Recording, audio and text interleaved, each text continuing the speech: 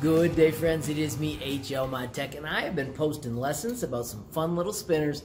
Friends, I thought I'd take a moment to just tell you a little bit about them. So let's get cracking.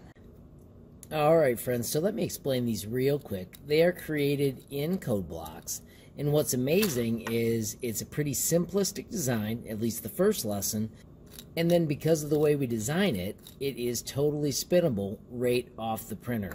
It's a cool lesson for the students as they learn about print in place parts. This first one right here is the easiest one, the one where you start to get two names. This one's a little bit more difficult, but it does turn into an awesome project. I print with 0.3 millimeter layers. I'm using 10 different printers, generally in about 25 to 30 minutes, which is a sweet number when kids are waiting to see their stuff done. Since the lessons are built in code blocks, students are generally successful. Let me show you one place I've seen them go wrong a couple times in the lesson. If you've never seen code blocks before, this is what code blocks look like. You drag your parts in place. When you hit play, the design draws in order. I've got parts that are holes, I've got parts that are solids. When they group, you get the cutouts of the project. Like I said, I've seen a couple of errors. Let me show you the main one I've seen.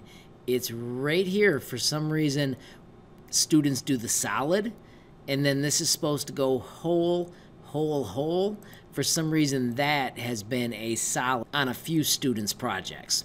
So this is the one place where when it's done, if you do that incorrectly, it won't print right and it won't move. You can, of course, find all these lessons on my YouTube channel, but you can also visit hlmodtech.com. If you hit the Tinkercad button, there is a Code Blocks button. These are all projects that can be solved with code. Here are the fidget toy lessons. This is the first one that gets you started, and then I've got one that shows you how to add shapes real quick. Then I've got a simpler one for adding words, and then I've got one that uses variables to create smart text. So you can do all kinds of combinations with the same project. So there you have it, friends. Fantastic little fun fidgets in just a few minutes. Friends, if you enjoyed the video, please give it a like. If you got a question, comment, or suggestion, add it down below. If you haven't subscribed yet, what are you waiting for? Smash that subscribe button, and last but not least, hit that notification bell if you want to be the first to know when there's a brand new video from me, HL Mod Tech. Thanks for watching. Have a great day.